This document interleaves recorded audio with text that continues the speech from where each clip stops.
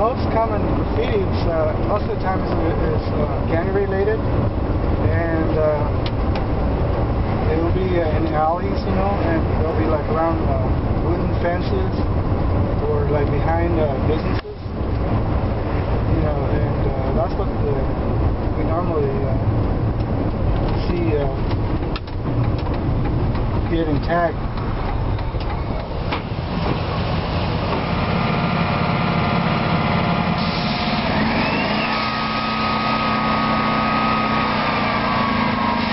say when you know like gangs have some issues and um, they start tagging all over the place and you trying to go clean it out and they'll be up there watching you know watching you erase it and you can tell they don't like it.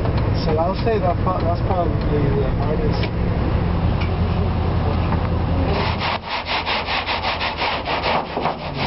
You can probably take um, 10 15 maybe 20 depending on the, the air, how much you you have to cover.